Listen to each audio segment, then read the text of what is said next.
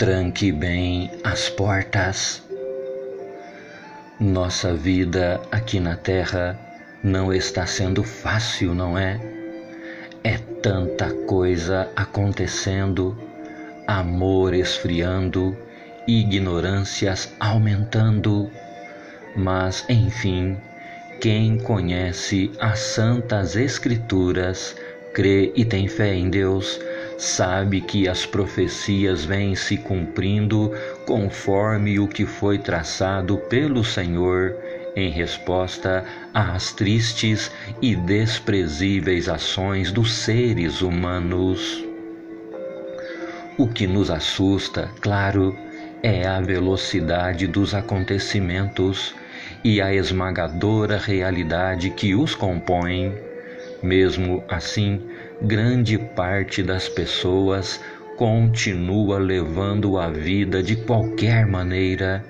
principalmente uma porcentagem considerável daqueles que se dizem filhos de Deus. Bom, mas cada um é cada um, e cabe a quem ainda tem o temor de Deus no coração seguir a sua luta procurando não se abalar demasiadamente nas provações, ter a certeza de que Deus está ouvindo as nossas orações e que nestes últimos tempos,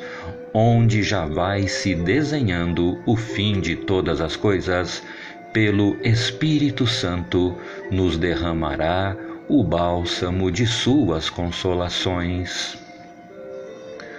Por esta mensagem digo a você, meu irmão e minha irmã, que continuemos firmes no nosso propósito de servir e agradar a Deus, nunca permitindo que se abrigue no seio de nossa alma quaisquer tipos de dúvidas e desânimo quanto à fé e doutrina que professamos Pois, se nos mantivermos retos e sinceros diante do Criador e Formador de todas as coisas, jamais seremos vencidos e nem lançados no precipício onde são atirados os sonhos e as coisas mais importantes de quem deixou de servir e de acreditar no Todo-Poderoso o Deus de nossa salvação.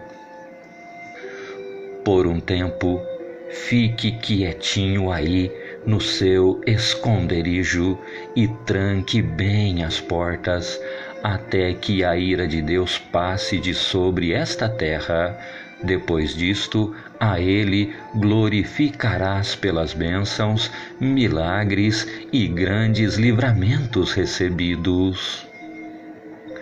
até que chegue o fim deste mundo,